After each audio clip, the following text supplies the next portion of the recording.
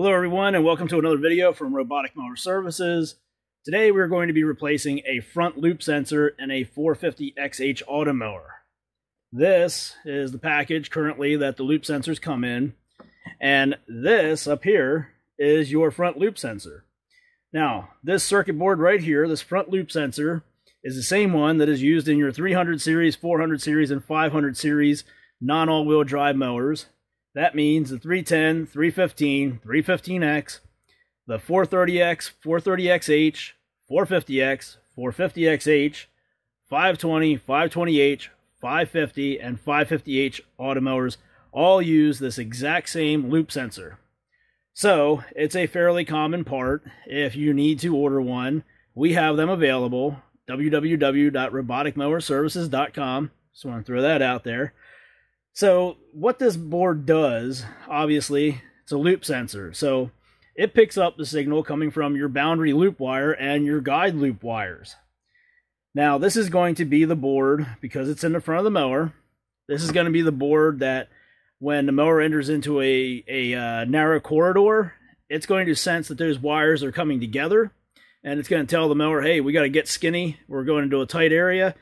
And then there's a loop sensor in the main board on the back of the mower. So when the front one says, hey, get skinny, and it goes through that corridor, the back loop sensor is going to pick up that it's getting, the wires are getting further apart and saying, all right, we're in the clear now.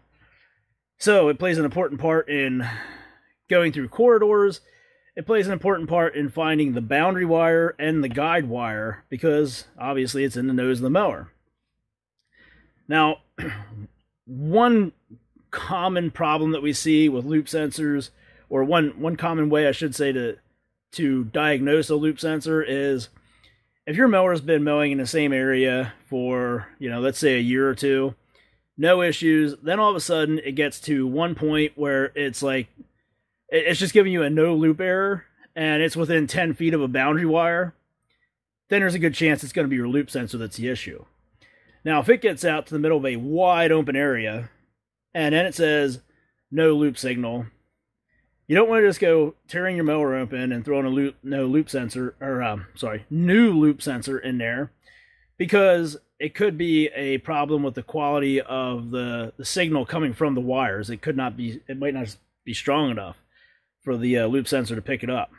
So in a case like that, you want to check the values that you're getting that you're able to read from this loop sensor before you just go ripping everything open and replacing the loop sensor because well, you know, money's money, you know, and uh, electrical components, you can't really return them, and you don't want to just go throwing money at it when uh, it's not going to solve the problem. So, um, in a case like that, just do a little bit of homework, and you'll be able to determine whether it is your, your boundary wire system or the loop sensor. But in the first scenario I gave you, if it's, you know, if it's within 20 feet of a uh, boundary wire and you're getting a no loop signal, you can almost guarantee that's what it's going to be is this loop sensor right here.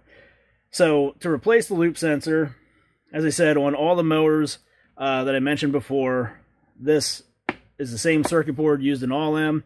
In the high cuts, you use one screw and one little clamp to hold it down. Uh, in the other ones, uh, a lot of the other ones, you use two of these screws and two little black clips to hold it in, in place there. But in all of those mowers, that board will only fit one way. Pull this one out here. You got a ribbon cable in there. That's it. That's all you're disconnecting. That's it right there.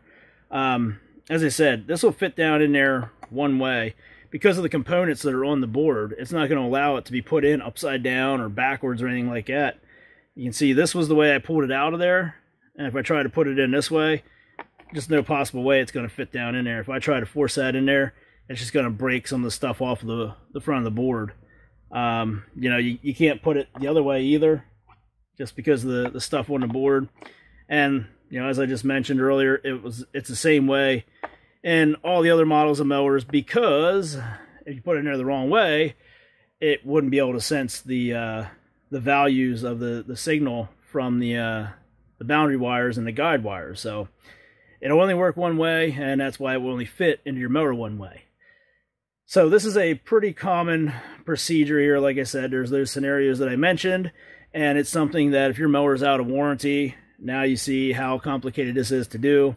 Um, you know, if you know what you're doing and you can get to this point here where you can split split the chassis open on your automower, then uh, it's going to be pretty straightforward for you to replace that loop sensor.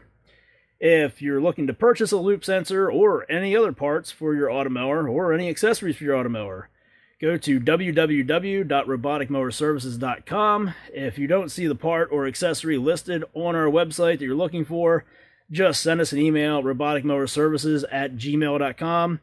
Let us know what model mower you have and a serial number and what part it is you're looking for, and we'll get you hooked up. We even have a link right there on the website that if you don't see the part there and you're looking for a part, just click that tab and it'll automatically open up the email thing for you and uh, get you started on getting a request sent for whatever parts it is that you need. So that's going to do it for this video here. Again, make sure to check out that website, www.roboticmowerservices.com. Make sure to give this channel, Robotic Mower Services, a like and a follow. Uh, hit the little subscribe button down there. You can also find us on Facebook under Robotic Mower Services. And um, keep checking back because we're always putting out new material. Thanks for watching.